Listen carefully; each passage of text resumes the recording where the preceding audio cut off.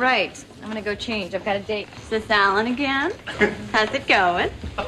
Going pretty good, you know. It's nice. We're having fun. So when do we get to meet the guy? Yeah. So today's Monday. Never. Oh. no, no, not after what happened with Steve. What are you talking about? We love Steve. Steve was sexy. Sorry. Look, I don't even know how I feel about him yet. Just give me a chance to figure that out. Well, then, can we meet him? Nope. Sorry.